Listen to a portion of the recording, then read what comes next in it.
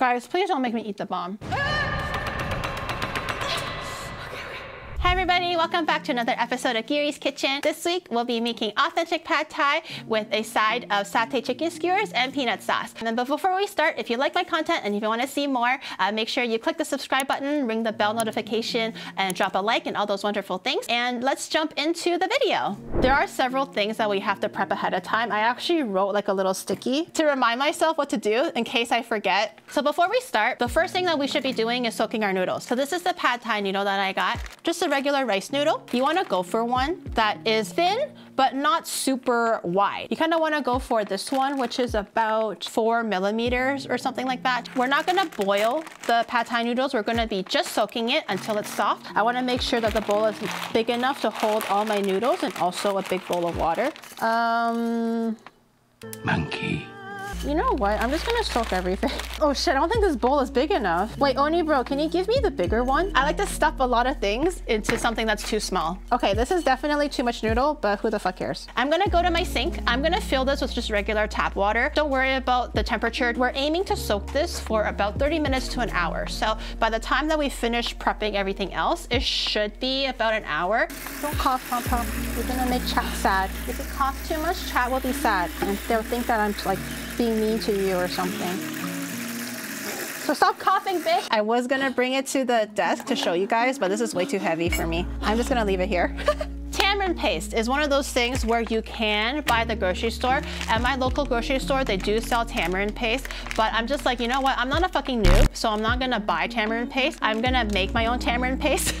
The reason why I would recommend that you make tamarind paste yourself, so for the pre-made ones, they tend to diminish the sour aspect of the paste. So if you wanna go for the true authentic taste with like a stronger tamarind flavor, the best way is to actually make your own tamarind paste. If your grocery store does have tamarind pulp, which is basically just the flesh of the tamarind, and then all you have to do is kind of break it up, soak it. Oh, I, I forgot to make hot water. I'm actually pressing really hard with my fingers, but it doesn't really budge. So it's not very soft. It does take a little bit of hot water to kind of dissolve everything. I would not recommend using cold water or lukewarm water just because it's not hot enough to kind of make sure it gets in between the different fibers of the pulp and really dissolve it evenly. If you cook it the way that I'm showing you guys today, you can literally keep this in the fridge for like months and months and you can even freeze it and then you can just thaw it out and use it whenever you need to. So this is tamarind pulp. I've actually haven't worked with tamarind pulp before. This is my very first time and we're gonna use half of it. We're not gonna use the whole thing because I don't want to make like a huge, huge batch. Eh, okay. Obviously, it's a nice big chunk. There's no way that we can dissolve a nice big chunk of this if, if, you just plop it into the bowl and then put it into the hot water. So what we're gonna do is actually use our fingers to kind of pull it apart.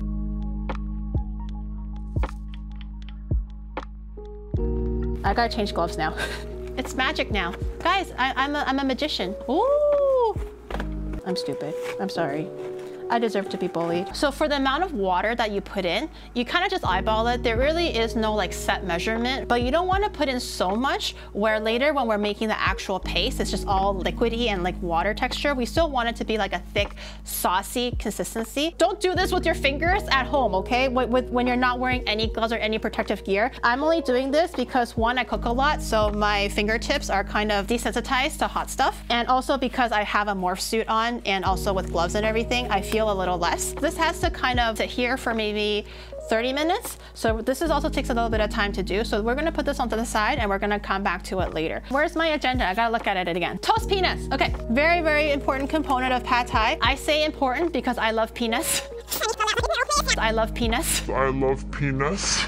okay. This literally means uh, with clothes, peanuts. It just means that the skin is on. But we're gonna make the peanuts naked for pad thai and stuff. You realize that the peanuts, they don't have the skins on them. I don't think it'll taste very good with the skins on. So what we're gonna do is roast them first. So I'm gonna turn the heat on to low because I don't wanna risk burning the peanuts. I am winging this because I have never dry roasted peanuts on a pan before. So I don't really know what to expect. I feel like every time I start streaming, I'm like coming in between like Chat's Way and Oni Bro. Hello, I exist too, guys. Everyone wants to talk to Oni Bro and kiss him and like, I don't know, fuck him or something. No one wants to fuck me. The whole time that chat was bullying me, I have been tossing the peanuts because peanuts burn very easily, obviously. And because I don't have oil in the pan, it can burn even easier. So I'm always careful with the fire and also always like stirring it around to keep it agitated. I don't know where the misunderstanding went, but like you do know that you guys live in my dungeon and that you're my slaves, right? This is not Oni Bro's harem. This is my harem. You are awkward and Kazu.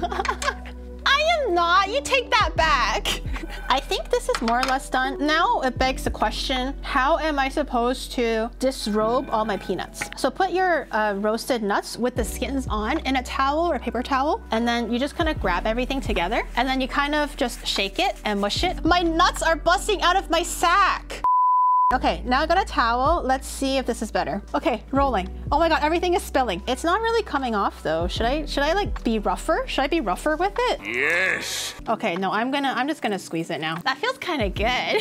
it's kind of fun to squeeze the nuts. It's like nice and warm and it smells really good. Please don't take that out of context, guys. Okay, Oni bro, please help me. I don't I do not have the time for this shit. Okay, you take this and then you just pick out the peanuts with no skins on it and then you give them back to me, okay? Oh my god, there's so many peanuts on the floor floor. Okay, it's fine. Pop Pop can just eat it. Okay, stand. Ah, there you go. We're gonna marinate the chicken now. So the original recipe for the satay chicken skewers called for coconut milk, which I had. I had coconut milk, so I didn't go out to buy coconut milk. Yesterday, I went to collect all my ingredients to film and everything, and then I realized that my coconut milk has turned into naturally fermented coconut yogurt. So I'm substituting the coconut milk just for today with regular whipping cream. Chicken thigh. You guys know how I feel about chicken thighs. I fucking love chicken thighs. Since we're making skewers, they shouldn't be too big, but if they're too small, they won't really taste that good either. So we're aiming for, for this size. I feel like this is a nice skewerable size.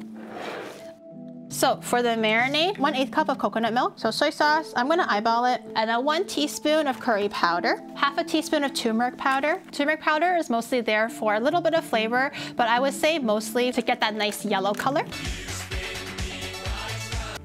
A flip? What happened? Okay, garlic. Because I am mincing it, I'm actually not gonna chop it. I'm actually gonna use a grater. I like to go for the bigger one so that when I'm grating it, it'll be a little safer. And then just remember, there's a lot of extra flesh still stuck on the grater, so make sure that you just get all of it. You don't wanna miss any of the ginger, or sorry, the garlic. So for ginger, nice way to peel ginger without actually having you to use your knife to cut it. it is just use a spoon, just scrape it off.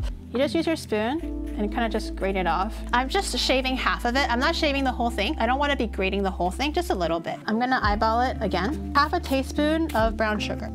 That looks like half. Half a tablespoon fish sauce. This is the fish sauce that I use. I think I would recommend the one that has three crabs on it. I heard that one is better tasting. Fish sauce is quite salty. I find it a lot saltier than soy sauce. Be wary of that when you're putting it in with other like salty seasonings and stuff like that. And then salt and peppers. I'm gonna forget the salt for now. I'm gonna do the salt later. So this is nice and mixed. We're just gonna let this marinate and sit for a little bit. We're gonna chop the peanuts first. How fine you wanna go is up to you. You can definitely throw this into a food processor. That probably would be the easier option. So what we're gonna do now is prepare the sugar. So one key, Oh, I forgot. I forgot to make my tamarind sauce. We can actually start cooking this down now. Earlier, it was in like large big chunks when in the hot water. Now the water is like lukewarm and then the flesh is kind of like disintegrated a little bit. We're gonna use our hands and then we're gonna smush everything together to kind of peel the pulp away from the pits of the tamarind. It's gonna be very, very squishy and you're gonna feel a lot of like kind of like debris and pulp and pits and stuff. We just wanna gently separate the flesh from the pits. So you can kind of see this one. There's like the pits of the tamarind, like the seeds of it, and then we're gonna strain all the pits away and throw it away. And then we're gonna cook down the extra sauce. I'm gonna grab a spoon. So I have a pot that I'm gonna be cooking the sauce in and I have a strainer. What I'm gonna do is I'm gonna sift the sauce through the strainer and then we're gonna, whatever is left over is what we're gonna throw away. I like to use like the back end of the spoon to kind of push it down because it's like a bigger surface area. If you wanna be a little stingy, you can add a little bit of water more just to kind of like sieve through the rest of the pulp to kind of release any extra tamarind juice that's stuck on it, but you don't have to. And then I'm gonna dump it out and then we're gonna do the second half.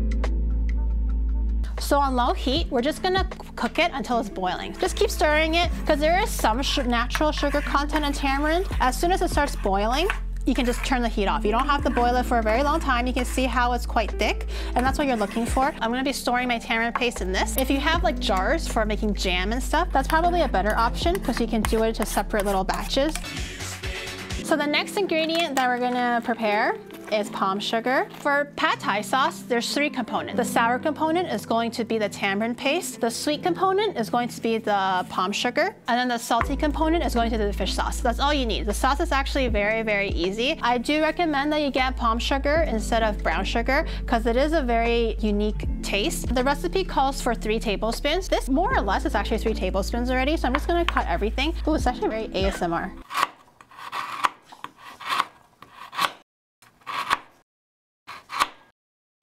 So once you've cut it like this, you can just literally crumble it in your hands and then put it aside elsewhere. I think this is three tablespoons already, so I'm gonna set this aside. We don't need this. The next thing we need to prepare is the dried shrimp. For a more traditional or authentic taste, this dried shrimp is actually quite necessary. For those who don't like the taste of dried shrimp, I think you can omit it, omit it, so leave it out. But I think it will be better if you have it in just for the more authentic taste and a deeper umami flavor, like that seafood flavor. And you can see they're quite, they're quite dry. They're not very, very very big. And then just do a rough chop because we're gonna be sauteing this with the shallots and garlic and everything else. So you don't have to chop it too, too, too fine, but just enough where it can kind of break down. Okay, I'm gonna set that aside. I'm gonna chop the garlic. I'm just gonna cut off the butts of it first. You guys know the drill. I like to smack my garlic and then just run your knife quickly through. I'm gonna put this together with the shrimp because we're gonna be sauteing everything together at the same time. And then we have shallots. We're just gonna cut them in half. La la la, na na na. I'm gonna chop them the same thing, the same way that I do for onions, which is just like the horizontal cut and then the vertical cut. And then I'm gonna put the shallots in with the shrimp and the garlic and everything. I think we're almost done. It's called choi po. It's salty, it's sweet, it's sour. It's a dried radish kind of thing. And they usually add that into pad thai as well for a little bit of the crunch. So I'm just gonna cut that open. This is what it looks like, choi po. And then we're gonna do like a small dice. Once I'm done cutting into long strips, I'm gonna arrange it so that it's uh, perpendicular to what I was doing earlier. So now the strips are facing this way instead of this way. And now we're just gonna run our knives through. So this is the size that I have right now for my po. I'm gonna set that into a separate bowl because I'm not gonna be stir frying it with the garlic and the shallots and everything. This is basically pressed tofu, but in Chinese it's fu guan, which is tofu, dry tofu basically. We don't need the whole package. I'm probably gonna use half the package. The texture inside still looks like regular tofu. It's just very short and very dense because all the water is being squeezed out. I think I'm gonna do, uh, maybe I'm gonna have, uh, uh, I'm gonna have it and then slice it this way. So how you cut your tofu is up to you. There really is no like rule to how you wanna do it. I'm just slicing it kind of thinly. This is what I'm cutting it as, but you can do it like longer and thinner. You can do it, I don't know, shorter, fatter. I'll probably place it here because I'm running out of little bowls. This is the last component. We're just gonna cut the green onions. I'm gonna cut the butt off. We don't have to chop it because I'm actually gonna stir fry it into the pad thai at the very end. We're gonna be using mostly the greens because the greens cook the fastest. It's also a little sweeter and less spicy than the stalks. And then I'm just gonna chop it into like decent sizes, not too big because we wanna make sure that everything can cook easily. And then one more thing, we're making pad thai, so obviously we need Thai chilies, okay? I like spicy food, so these ones are quite spicy, so I'm gonna put in three. If you wanna put more, put in more. If you wanna put in less, put in less. If you're a pussy, then don't put it in. Cut off the tip, of course. And then we're just gonna do a tiny little chop. And then I'm gonna put it with the garlic and the shallots because we're gonna be stir frying those together. So we're gonna do the peanut sauce. There really is no specific recipe. I'm just gonna wing it. So I have chunky peanut butter. It can be smooth. Obviously smooth is the more like commonly used option, but I prefer the chunky one. And then I'm gonna season it with oyster sauce. I like putting oyster sauce in for the bit of the sweet component and a bit of the salty component. Pound on it doggy style. I'm gonna add a little bit of fish sauce for like that extra umami, just a little bit because fish sauce is quite salty. And then just to sweeten up a little bit, I'm gonna add a little bit of sugar. Not too much. We're not, we're not trying to make the peanut sauce sweet. We're just trying to kind of balance the taste a little bit. Just regular peanut butter is quite thick. So I'm gonna actually add a little bit of water to thin it up. It's slowly coming together. It looks a little funky in the beginning because peanut butter doesn't doesn't want to separate because it's very, very thick, but it will. Just give it some time. And don't worry, it looks a little chunky. It's because of the, the chunky peanuts in itself because I'm using chunky peanut butter. I will taste it to see if I need to adjust anything. Hmm. More salt. I'm gonna add soy sauce now. I feel like it's missing a little bit of the soy sauce component. I'm also gonna add a little bit of MSG. I think this is really yummy. I'm gonna stop the sauce right here. You can see it's like kind of really creamy now with like the chunky peanut bits inside.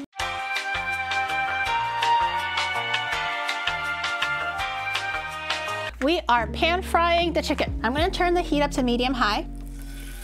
Ooh. I'm gonna turn the heat down just a little bit more because I don't want the bottom to burn while the chicken is still not cooked through. Where's the piece that I cut? I'm gonna try it. Oh, that's really good. Oh, that's really good. Holy.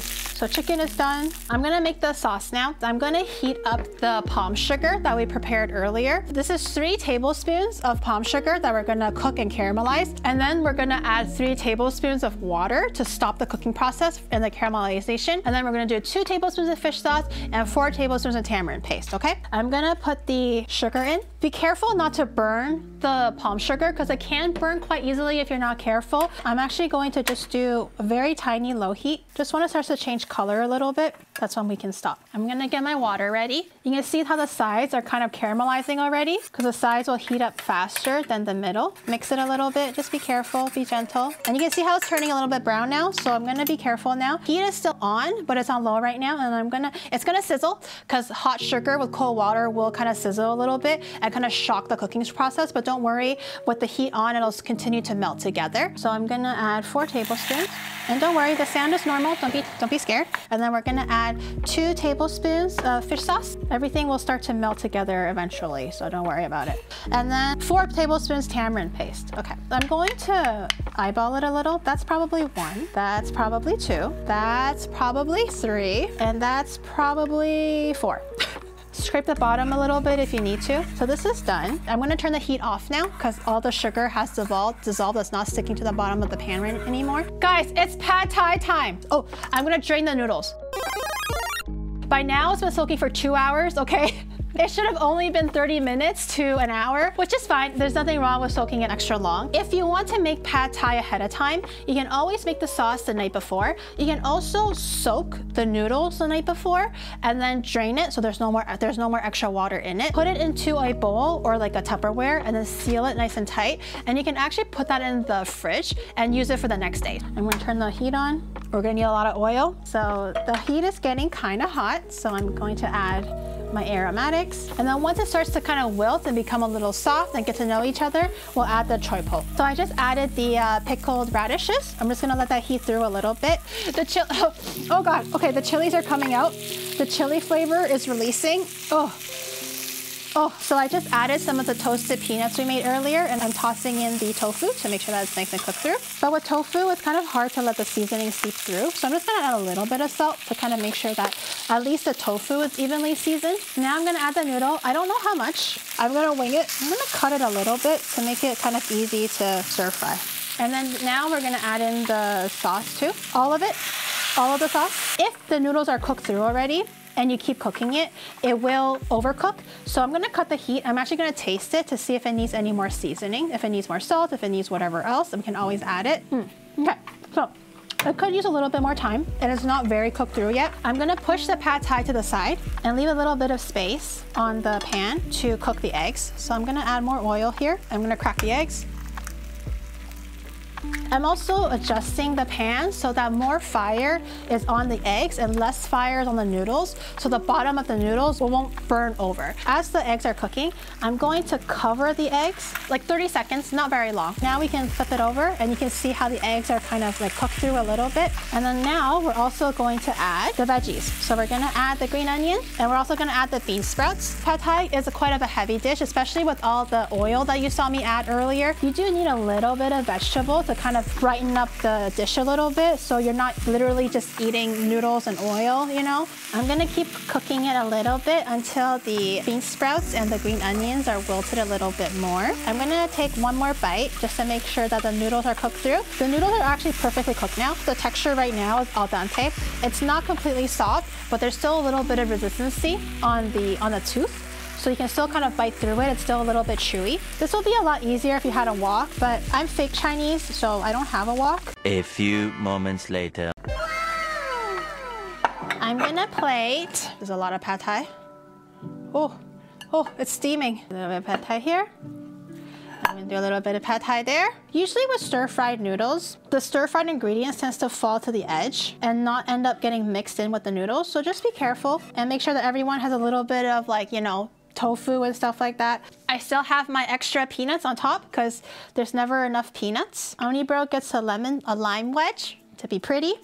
And I get a lime wedge to be pretty. And then I'm going to do the chicken. I'm gonna do a little bit of the peanut sauce so he can dip it. And this is the completed dish. Today we made pad thai, satay chicken skewers, peanut sauce, and I also added a little extra lime to kind of brighten things up. Guys, please don't make me eat Da Bomb. Eventually. That's a fair amount, right? I don't want you guys saying that I'm pussying out, okay? Okay.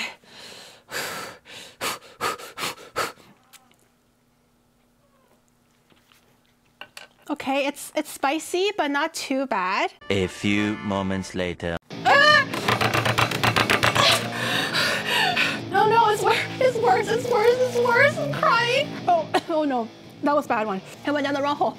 It went down the wrong hole. Oh God, I'm crying. Do you guys see this?